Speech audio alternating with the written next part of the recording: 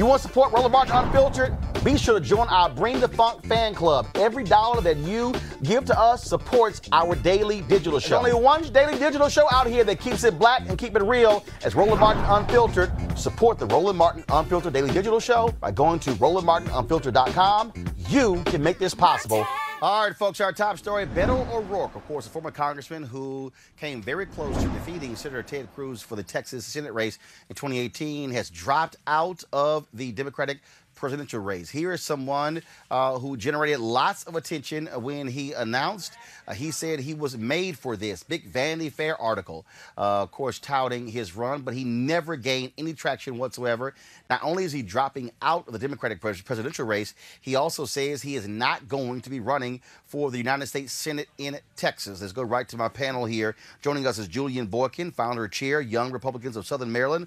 Dr. Cleo Manago, political analyst, and Johanna LeBlanc, national security and foreign affairs legal analyst. Cleo, I want to start with you. The reality is, uh, Beto O'Rourke should have never run for president. He should have run for the United States Senate. He had built up a strong following in Texas. It made a hell of a lot more sense for him to run there. But ego run amok, and here he is in October, now dropping out of this campaign.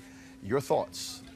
Well, this is pretty simple. I mean, he wasn't popular, he wasn't doing well, and um, you've been breaking it down in terms of implying that he would likely drop out anyway this whole time. And again, you were you were correct in terms of deducing the logic about his lack of success in his campaign. So it's really simple. I mean, there's not much to explain. The man wasn't doing well. He never really was up in the polls. He never really touched the audience to make and had any fire or anything behind him to make people really take him seriously as a presidential candidate. So there it is. He's he dropped out.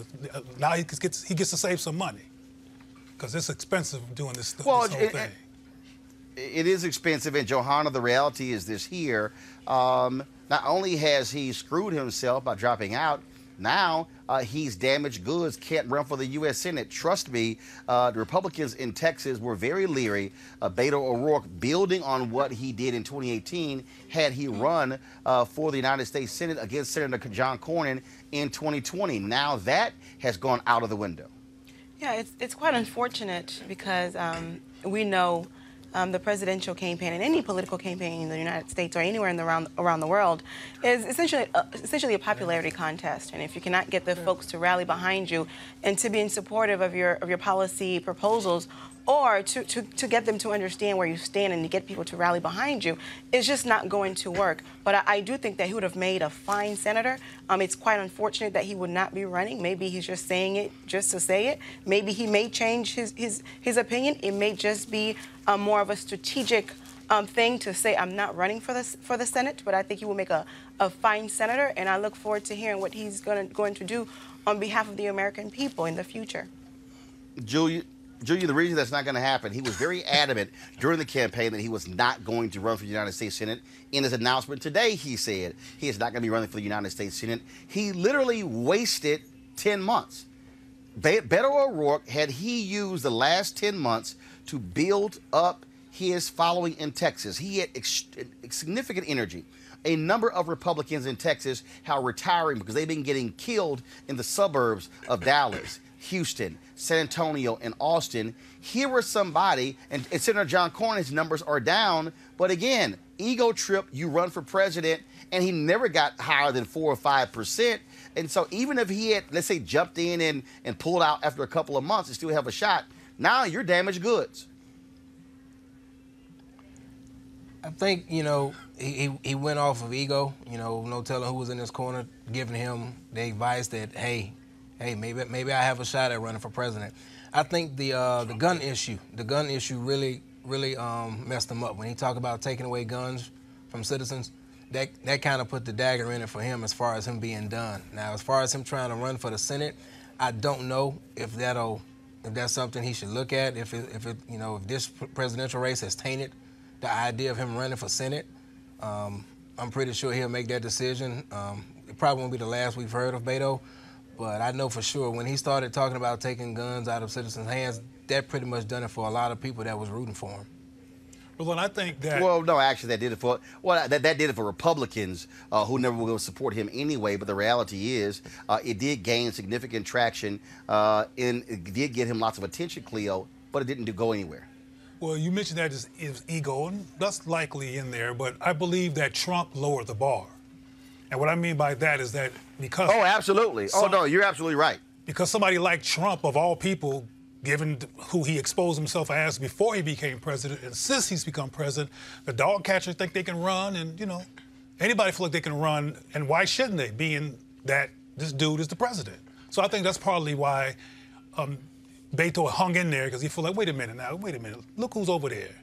I'm gonna stay in here until the wheels fall off. And I guess the wheels fell off. But there's also this this other element that Yep. we're not talking about. Oftentimes, folks run for various positions, in particular the presidency, for name recognition. So perhaps he did this because he has better um, be- better plans in the future, but he knew he was not going to No. to win the nomination. But No. for name recognition, people do it all the time. No. There are several people who are in the Johanna, campaign right now. They're not Johanna, going to go far, Johanna, but they're in it for name recognition as well. I understand. I understand, Johanna. I understand your point. The re- reason that does not fly in this case, when he ran for the United States Senate in 2018, he raised the most money ever for a U.S. Senate race. He had people across the country who were contributing to his campaign. He had national attention running against Senator Ted Cruz. He lost by 2.5 percentage points. He had significant name recognition. He thought he could parlay that to running for president. The mistake was that he built up a massive organization in Texas and he could have been able to take on Senator John Cornyn. Instead, he thought they loved me so much nationally, hey, I might as well run for president. It didn't work. No denying that. Yeah, That's the case. Didn't work. Not And it's all. just sometimes, sometimes some people need to realize, guess what? You ain't meant to run for president. You're meant to be. And here's the piece. He's young cat. He could have easily ran for the U.S. Senate. Let's say he won and beat Cornyn. There's going to be significant opposition to Donald Trump in 2020. Julian, your party is extremely afraid of what's happening in the suburbs of Texas. Beto O'Rourke could have built on what he did in 2018 and and, and said, boom, I'm running against Cornyn. He could have basically cleared the board of other folks running for the Democratic primary and could have been focused on John Cornyn for almost two years. He didn't. And that was a strategic and fatal mistake. yeah. It's obvious that Yeah. there was a fatality. I mean, he's gone. He was listening So to somebody. there we go. He was listening to somebody. He had Well, built up a guess what? momentum. It should have called folks like me because we just said hashtag we tried to tell you. All right, y'all. Back to our Roland Martin Unfiltered video in just one moment.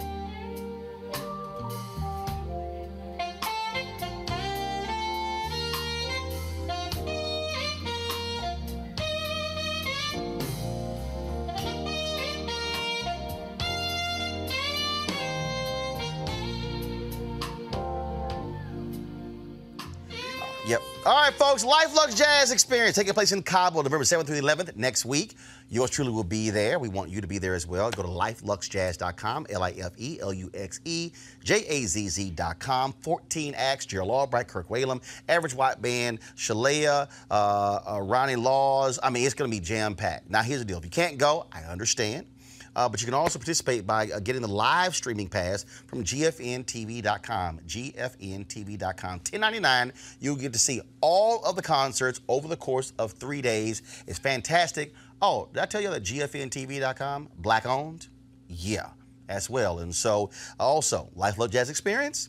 Black owned. A sister created this uh, to provide an opportunity for African Americans who live in a lot of these cold states even though climate change has screwed that sucker up, uh, to opportunity, of course, uh, to hang out in Mexico for four days and have a great time. I'll be doing Roland Martin Unfiltered there next Thursday and Friday from Cabo, but you can experience uh, the concerts by going to gfntv.com and getting your live streaming pass. So please do so, and we look forward to checking it out. Back to your Roland Martin Unfiltered video.